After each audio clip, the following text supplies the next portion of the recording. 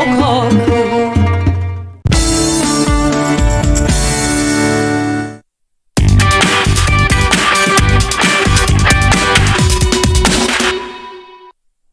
Değerli izleyiciler, petrol fiyatları savaşındaki son durumu aktararak parasala başlayalım. Suudi Aramco CEO'su 1 Nisan'dan itibaren günlük petrol üretimini 12.3 milyon var ile çıkartacaklarını söyledi. Rusya Enerji Bakanı da OPEC ile işbirliği yapmanın hala gün, halen gündemde olduğunu ve tekrar petrol üreticileriyle toplanabileceğini sinyalini verdi.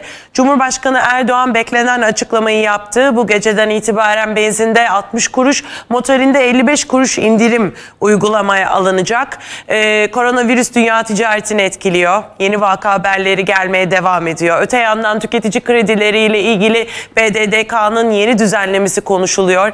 Ee, Aralık ayı işsizlik rakamı açıklandı. İşsizlik %13 13.7'ye yükseldi. Hepsini doçent doktor Aysel Gündoğdu ile konuşacağız. Ben Nazlı Bolak. Parasal başlıyor. Aysel Hocam merhaba. Merhaba Nazlı Hanım. Yine çok dolu bir e, haftada e, her şeyi yarım saate sığdırmamız gereken bir programda evet, beraberiz. Program e, çok yoğun, gündem çok yoğun. E, geçen hafta bu başlıkları konuşacağımızı e, aklımıza gelmezdi değil mi? Evet. Petrol fiyatlarından tutun da e, tabii işsizlik açıklandı.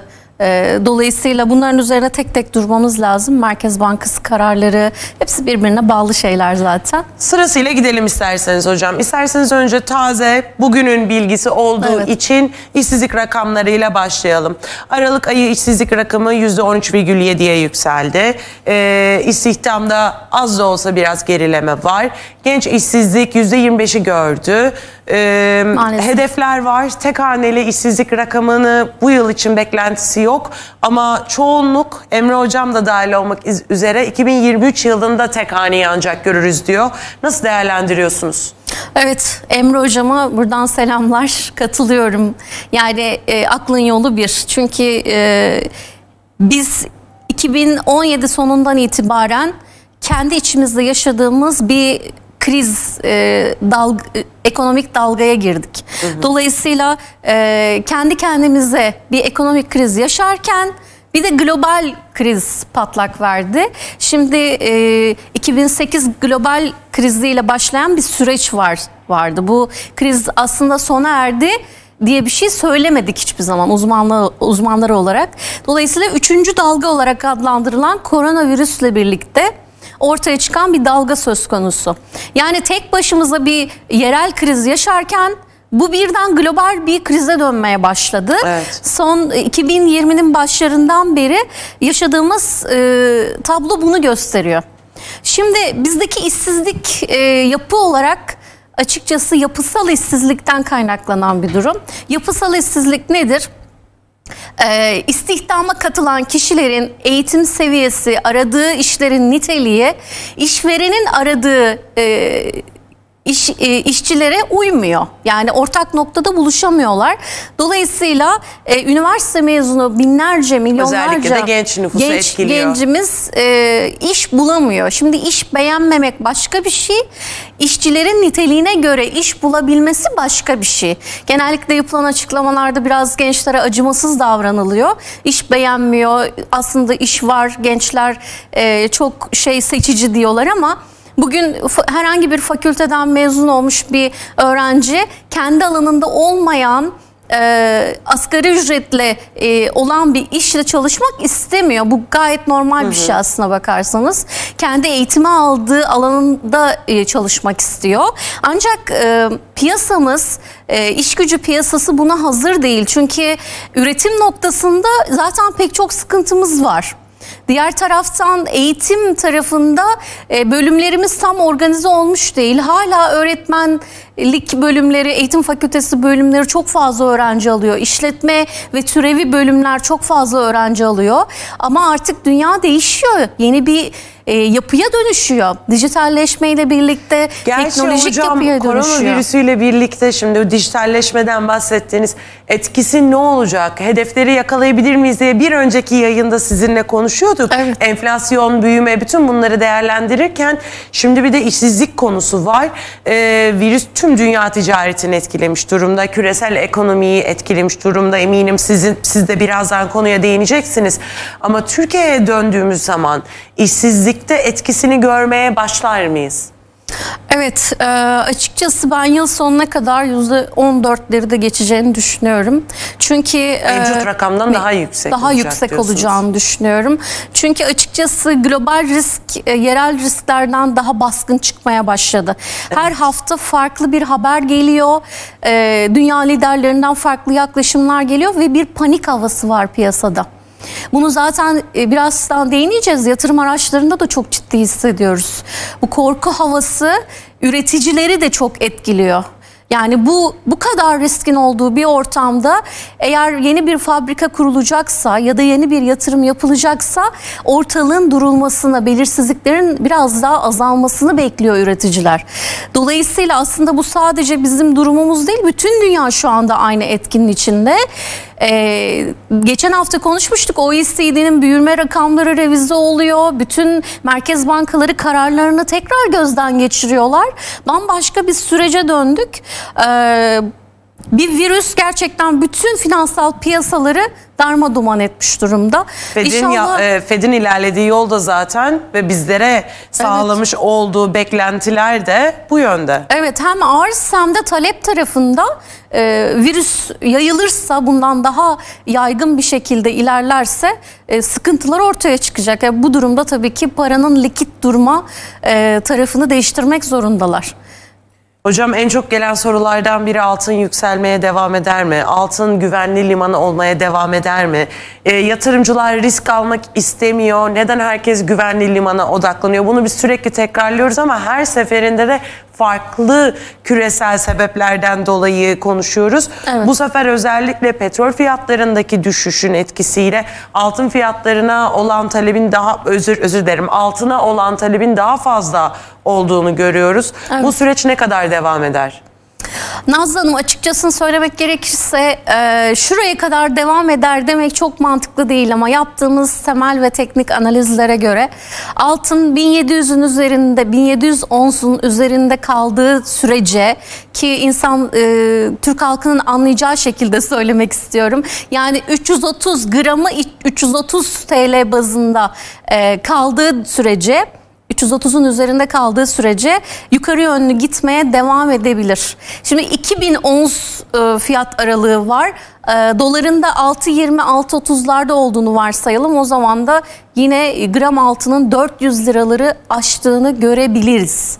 Evet. Ama tabii ki bu birdenbire e, bir günde iki günde olacak bir şey değil. Bu korku ortamı devam ederse Korku ortamı da sürekli yükselen bir şey değil. Ara sıra iniyor çıkıyor ama genel olarak bir yukarı yönlü ivme var.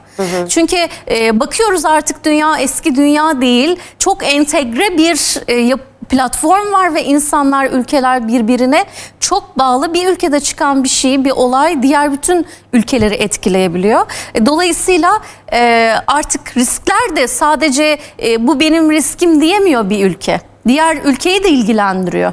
Bakın Fed'in aldığı bütün e, kararlar bütün dünyayı sallıyor.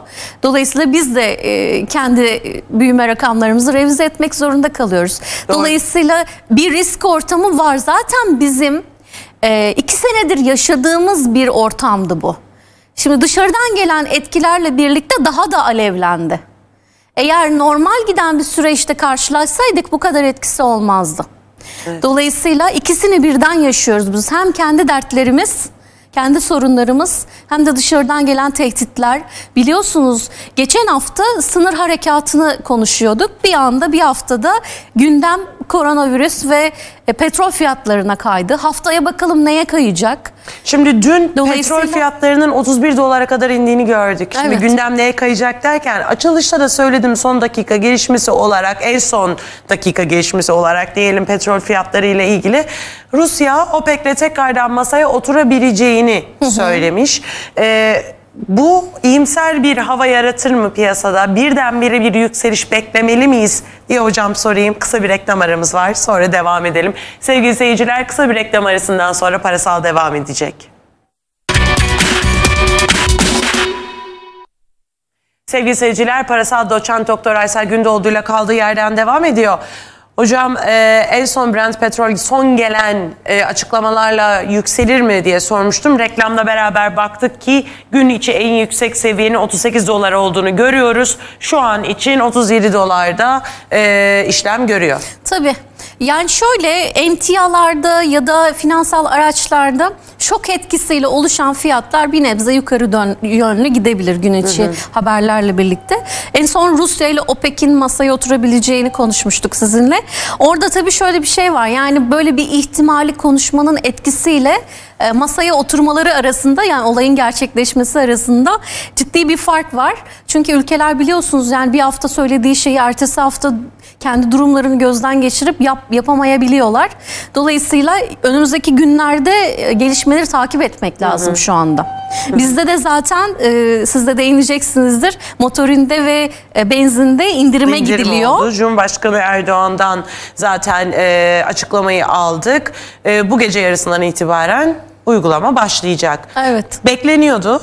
Evet. Ee, çok büyük bir şok olmadı. Aynen. Ee, ancak herkesin şu an bahsettiği e, soru şu. Petrol fiyatları düştü. Türkiye olumlu etkilenir mi? Ne kadar olumlu etkilenir? Evet ithalatta olumlu etkileneceği kesin. Ama unutmayalım ki koronavirüsünün de etkisi var. Koronavirüsün etkisiyle dünya ticaretinde bir durgunluk var. İthalat giderimizde azalma olmasına rağmen ihracatta azalma olur mu? Bence evet. asıl sorulması gereken, odaklanılması gereken biz hangi ülkelere ne kadar ihracat yapabileceğiz bu yıl? Kesinlikle bu konular önemli. Cari açığı ilk başta e, olumlu etkileyebilir ama ondan sonrası için işte e, koronavirüsün etkisi ne kadar e, bu olumlu etkiyi bastırabilecek. İkisi arasındaki farkı önümüzdeki günlerde görebileceğiz. Hı hı. E, birkaç dönem takip etmek gerekiyor. Ondan sonra sağlıklı bir yorum yapılabilir. Yani 31 dolardan 37-38 dolara çıkabiliyor birkaç gün evet. içerisinde. Dolayısıyla önemli olan burada e, bakalım rayında gidecekmişler. Yani yukarı yönlü bir ivmede mi gidiyor yoksa tekrar bir şok mu gelecek? Çünkü belli olmaz bu tür şeyler. E, açıkçası Orta Doğu'daki durumlar da çok karışık.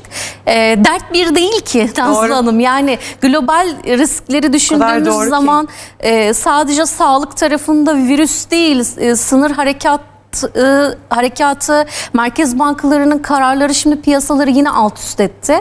E, bireysel yatırımcılar, kurumsal yatırımcılar şimdi neye yatırım yapacağız diye kara kara düşünüyorlar. E, tüketim tarafında insanlar panikle kendini geri çekiyor. Gelişmiş ülkelerde de şu anda. İtalya'daki durumu düşünün. Ya kim düşünebilirdi ki böyle bir şeyin olabileceğini? Hocam gerçekten sizce bu hafta ileride ilerleyen dönemlerde filmlere, kitaplara senaryo yazılacak üzerinde üzerinde durulacak bir hafta mı? Bence finans ve ekonomi kitaplarının baştan yazılması lazım. Bize de büyük görev düşüyor bu noktadan sonra. Özellikle global riskleri biz çok mesela böyle üzerinde durarak şey yapmayız, anlatmayız. Daha böyle the others diye anlatırız. Yani diğer riskler diğer diye diğer anlatırız. Riskler. Diğerleri temel risklerin önüne geçmeye başladı. Bu acayip bir şey. Yani hani öğrencilere de gerçekten tam bir laboratuvar yaşadığımız şu günler. Ee, tabii Türkiye'de tüketim tarafı iki yıldır kendini geri çekiyor. İnsanlar yeni buzdolabı almıyor, arabasını yenileme konusunda çekingen, telef cep telefonunu yenilemiyor. Çünkü bir işsizlik ortamı var ve insanlar kendini geri çekmiş durumda. Bundan sonra bu global risklerle birlikte çekilme daha da devam eder mi? Yoksa e, işsizliğin e, artmasıyla birlikte karşımıza çok daha e, vahim bir tablo çıkar mı? Bu sorunun cevabı bizim için önemli. Zaten bizde biliyorsunuz yani üretim yok e, ithalatla biz bir şeyleri e, getirip işleyip satmaya çalışıyoruz. Ham madde ithal ediyoruz. Evet ham madde ithal ediyoruz. Dolayısıyla bizim için tabii e, bu noktada e, enerji fiyatları da çok önemli. Fiyatın düşmesi, enerji fiyatlarının, petrol fiyatlarının düşmesi güzel bir şey ama bunu kullanabilirsen güzel. Yani işleyip satabilirsen güzel. Hı hı. Satamazsan sadece ithalat boyutunda kalıyor. Enflasyona etkisi ne olacak peki? Açıkçası söylemek gerekirse ben özellikle gıda enflasyonu tarafında çok iyimser kalamıyorum. Çünkü benim e, birebir takip ettiğim projelerle birlikte hatta bu her ay belli ürünleri alarak bir fiş takip ediyorum. Sosyal medyada siz de görüyorsunuz. Evet. Gördüğüm kadarıyla maalesef özellikle e, buğday tarafında, hayvancılık, süt ve süt ürünleri tarafında e, önümüzdeki dönemde fiyat artışları kaçınılmaz. E, daha da artacağını düşünüyorum. E, bizim tabii her 100 liranın 23 lirasını Türk halkı olarak gıdaya ayırıyoruz. Bu tabii en büyük oran harcama kalemleri içerisinde. Dolayısıyla bizim bu gıda enflasyonunu bir an önce düzeltmemiz lazım. Artık e, modern, verimli tarımla mı düzeltiyoruz? Yoksa yeniden bir reform mu düzenliyoruz? Çok geç kalmamamız gerekiyor. Çünkü nüfus giderek e, artık bundan sonra yaşlanacak. Yani TÜİ'nin rakamlarına göre geçen sene 27.2 idi. Bu sene 29.2 e, çıktı. Tabii e, gelen mültecilerle birlikte çok farklı bir yapıya da dönüşmeye başladı. Tüketici olmaya başlıyoruz giderek. Emekli sayısı artıyor. Bu kadar öğrenci var. Sadece çalışan 24 milyon insan var 80 milyon içerisinde. Dolayısıyla bu oranı mutlaka bizim çözmemiz lazım. Yani üretim noktasına daha verimli, önümüzdeki yıllarda e, daha e, modern teknolojiyle birlikte daha verimli bir tarım sektörüne e, ön ayak odaklanmamız lazım diyorsunuz evet. da hocam bu e, biraz önce sürekli global risklerin e, yerel risklerin önüne geçtiğinden bahsediyorsunuz. Evet. Böyle bir dönemde bu bahsettiğiniz konulara odaklanmak için doğru zaman mı? Açıkçası hiçbir zaman geç değildir. Biz aslında aslına bakarsanız geç kaldık zaten. Yani geç iki yıldır söylüyoruz sürekli yapısal reformlar. Hadi adına yapısal reform demeyelim, başka bir şey diyelim. Eğitim tarafında özellikle bu kriz zamanları ülkelerin kendisine çeki düzen vermek için en güzel zamanlardır. Çünkü zaten bir şeyleri böyle rolantıda bırakıyorsunuz. Zaten beklenilen riskler herkes biraz daha kolay kabullenebiliyor riskleri. Hani şey diyebiliyoruz yani virüsten dolayı başımıza geldi bunlar diyebiliyoruz. İşte bu tür dönemlerde e, mutlaka altyapı hazırlığı yapmak lazım. Zaten e, eğer e, bir şeyi ekecekseniz bir proje üretecekseniz e, ilk zamanlar bunun verimini alamıyorsunuz ki. Şimdi eğitim reformunda düşünelim. İlk reformu yaptık. 15-16 yıl bekleyeceğiz ki ilk mezunumuzu alabilelim. Evet. Şimdi bütün e, sistemi gözden geçirmemiz lazım. Biz aslında bir nebze geç kaldık. Yani hani olumsuz konuşmamak adına bu şekilde söylüyorum ama her geçen gün daha da geç kalıyoruz. Dolayısıyla bir an önce bu reformların yapılması lazım artık e, az önce söyledim yapısal işsizlikten bahsettim. Hı hı. Dünyaya ayak uyduramıyoruz. Hep bir, bir geriden geliyoruz. Dolayısıyla e, artık e, hızı yakalayamadığımız noktada iki geriden gelmeye başlayacağız. Mutlaka bunun düzeltilmesi lazım. Çünkü istihdam yapısı da değişiyor. Özellikle de tüm dünyada e, ticaret dur, durmuşken evet. e, gerçekten piyasalarda da bir e, dalgalanma süreci varken siz beklemek e, lazım. Gerçi beklemek lazım demediniz fakat beklenilen bir dönemdeyiz evet, dediniz. Evet. E, böyle bir dönemi fırsat bilip Kesinlikle. yapılması gerekenlerin yapılması gereken zaman olduğunu söylüyorsunuz. Kesinlikle. Kesinlikle. Ee, hocam bir, e, Sağlık Bakanı'nın da açıklaması var. Ee, burada asıl size soracağım soru şimdi virüsün Türkiye'de olma ihtimalinden bahsediyoruz. Daha bir şey tespit edilmedi fakat olabilir hı hı. açıklaması geldi Sayın Bakan'dan. Böyle bir durum olursa Türkiye e, diğer ülkelere bakıyoruz. E, İtalya örneğini ver, vermek gerekirse karantina altında ülke, tüm ülke e, başbakan tarafından e, evet. e, kırmızı bölge olarak ilan edildi. E, umarım böyle bir durum Türkiye için söz konusu İnşallah. olmaz. Fakat e, olursa neleri öncelikli sıralandırmamız gerek harcamalarımızda? Evde evet. karantinada kalırsa. Şimdi sosyal medyada, televizyonlarda çok sık görüyoruz. Gelişmiş, çok imrenerek baktığımız ülkelerde bile insani bir e, şeyden kaynaklanan, panikten kaynaklanan marketlerde bir yağmalama var resmen. Evet. Ee, özellikle bu e, hijyen ürünlerinin olduğu kısımlarda videoları izliyoruz. Evet. E, gerçekten hiç de medeni bir ortam göremiyoruz. Çünkü insan e, panikle birlikte refleks geliştiriyor. Yani herkes bir şekilde alıp evine stok yapmak istiyor. Acaba biz neye stok yaparız, nasıl gelişir? Tabii ki Türk halkının e, beslenme ve mutfak alışverişi diğer ülkelere göre biraz daha böyle e, şeydir, miktar olarak daha fazla.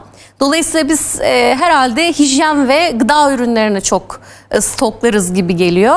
Tabii henüz bu panik havası yok. Yok. E, ama e, Sağlık Bakanımız çok iyi bir süreç yönetti. E, çünkü bizim gibi toplumlarda biraz e, panik havası çok... E, farklı şeyler getirebiliyor. Çok negatif izlenimler olabiliyor. Sosyal medyanın etkisiyle birlikte saptırılabiliyor bazı şeyler. Dolayısıyla e, varsa da ya, alıştıra alıştıra sanırım süreç yönetiliyor. Dolayısıyla bu noktada e, şu an e, benim en çok korktuğum şey e, bazı şeylerin kara borsaya düşecek olması. Özellikle bu hijyen ürünleri, Görüyoruz maskeler. hocam maskeleri görüyoruz. Evet Ee, yani e-ticaret Evet. sitelerinde inanılmaz fiyatlara satılıyor. İnsanlar stok yapmak amacıyla. Yani geçen seneki fiyatına bakıyorsunuz, bu seneki fiyatına Ne yazık bakıyorsunuz. ki görüyoruz bunu. Fırsatçılık. Ee, Dolayısıyla e, korktuğum şey bu. Bunun için düzenleme ve denetleme e, önlemlerinin alınması lazım. Çünkü 80 milyon insandan bahsediyoruz. Herkesin bir şekilde korunması gerekiyor. Ee, Petrol süreç- fiyatlarındaki düşüş hocam özür dilerim lafınızı kestim ama çok fazla soru var. Petrol fiyatlarındaki düşüş hayat pahalılığını azaltır mı? Şöyle bize çok çok fazla yansıyacağını düşünmüyorum açıkçası. Yansısa da kademe kademe e, düzenlenecektir. Zaten gördük 60 kuruş 56 kuruş gibi rakamlar Evet. ilk aşamada. Dolayısıyla bunun aracıları var. ÖTV belki farklı vergiler arttırılacaktır. E, o noktada hiç de böyle çok büyük ümitlere kapılmayalım bence. E, en azından zamlanmadığı için mutlu olabiliriz bu ortamda. Peki hocam tüketici kredileri ile ilgili. Bugün BDDK bu arada bunu söyleyelim bu hemen dü- bu düzenleme e, uygulamaya geçirecek yeni. diye bir e, bilgi de yok daha. Evet. Ne zaman geçireceği de bilinmiyor. E, ancak böyle bir hazırlığın yapıldığı haberleri paylaşıldı. E, biz de tabii ki de bunu değerlendirelim ve Evet. konuşalım. Şimdi gerçekten beyaz eşya, çamaşır makinesi, buzdolabını benim anladığım bu. Ben bankaya gideceğim. Tüketici kredisi istediğim zaman, alacağım zaman bana soracaklar ne için alıyorsun? Ben diyeceğim ki şu mağazadan şu iki ürünü alacağım örneğin. Ee, ve krediyi alırken de faturamı göstereceğim. Evet. Bu bir Ve böyle- denetim aslına bakarsanız. Evet. Yani şöyle söyleyeyim faizlerin düşürüldüğü, likiditenin bollaştırıldığı bir ortamda bu düzenleme e, hemen uygulanır mı? Ee, o konuda çok şey değilim, umutlu değilim. Ee, bir, bir süre rafa kaldırılır diye düşünüyorum. Çünkü zaten talep geri çekilmiş durumda. Zaten insanlar çok fazla harcama yapamıyorlar. Dolayısıyla e, insanların son birkaç yılda e, tüketici kredisine talebinin olduğunu görüyoruz ama bu talep daha çok geçmiş yılların borcunu kapatmaktan kaynaklanan bir talep. Yani kredi kartı borcunu e, yapılandırma yerine düşük faiz ortamından faydalanıp tüketici kredisine yoğun bir talep oluştu son bir Evet. yılda. BDDK tabii bunun önüne geçmek istiyor. Ama tüketici kredisinin de en cazip olan tarafı e, çekip istediği şeye harcayabilmek. Parça parça onu kapatıyor, bunu alıyor. Ya da elden borcu var birisine mesela. O da olabilir. Arkadaşından, eşinden, dostundan borç almıştır. Onları verebilir.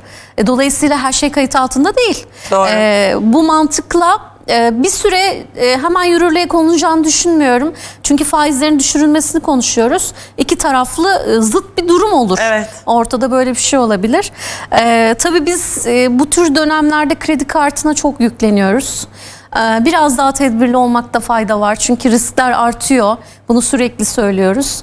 Özellikle altın artacak diye kredi kartından fiziki altın alıp evde saklayanlar var. E, düşünsenize kuyumcuya gidiyorsunuz. Normalde gram altın 330 lira diyelim. Size 340'dan 45'ten veriyor. Kredi kartından çektiriyorsunuz ve e, onu bir tasarruf olarak görüyorsunuz. Sonra kredi Halbuki- kartını ödeyemiyorsunuz. Asgarisi yine faizle biniyor. Yani dolayısıyla çok da mantıklı şeyler değil. Kredi çekip e, araba alanlar yani hani arabanın Arabaların biliyorsunuz şu anda ikinci el piyasası çok hareketli. Bazı modellerde birinci el fiyatından daha yüksek fiyatlar var. Ee, bu araba piyasasını e, bizim finans derslerinde e, artık işlemem, işlememiz elzem duruma geldi. Gerçekten çok enteresan bir süreç söz konusu.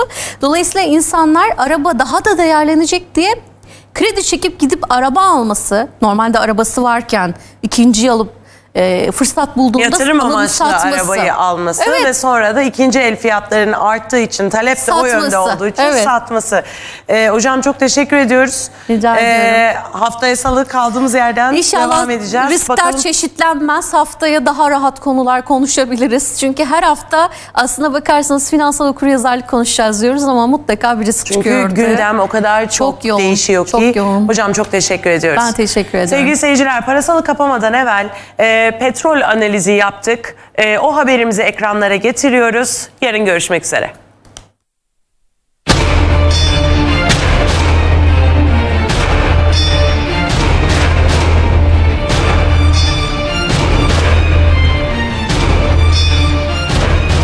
Koronavirüs salgını 80 ülkeden fazla yere sıçramış durumda. Çin ve İran'da vaka ve ölen kişi sayısı gün geçtikçe artıyor. İtalya Başbakanı ülkeyi kırmızı bölge ilan etti. İtalya'nın tamamı karantina altına alındı.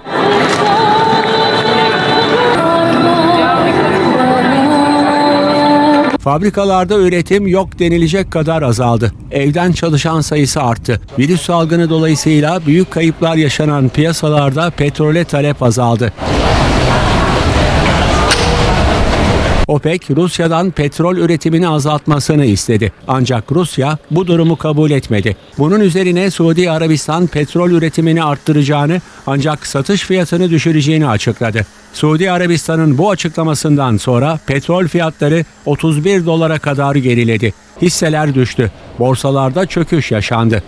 Yatırım bankalarından Brent petrolün varil fiyatının 20 dolara kadar düşebileceği tahmini yapıldı. Bu durum Rusya ekonomisine kötü yansıdı. Bir varil petrol bir kasa domates fiyatıyla eşitlendi. Rusya Maliye Bakanlığı'ndan açıklama geldi. Rusya'nın petrolde 25-30 dolarlık fiyata 6 ila 10 yıl arasında dayanabilecekleri vurgulandı. Altının ons fiyatı ise hızla yükselmeye başladı. Amerikalı bazı uzmanlar altının ons fiyatının 1800 dolara kadar çıkmasının muhtemel olduğunu söyledi. Uzmanlar petrolün bir süre 45-50 dolar seviyesine ulaşmasının zor olduğu görüşünde. Merkez bankaları koronavirüs salgınına önlem amaçlı faiz indirimine başlamıştı. Amerikan Merkez Bankası Fed'in acil bir toplantıyla 50 bas puan indirime gitmiş olması da piyasada panik oluşturmuştu. Petrol fiyatları savaşı da bunun üstüne eklendi. Ekonomistler 18 Mart'ta Fed'in faiz indirimine gideceğinin artık kesinleştiği görüşünde. 19 Mart'ta Türkiye Cumhuriyet Merkez Bankası'nın para politika kurulu toplantısı gerçekleşecek. Merkez Bankası'nın da faiz indirimi yapması bekleniyor. Ancak bu durum öncesinde sınırlı bir indirim beklenirken bazı ekonomistler sert bir indirimin söz konusu olabileceğini söylüyor.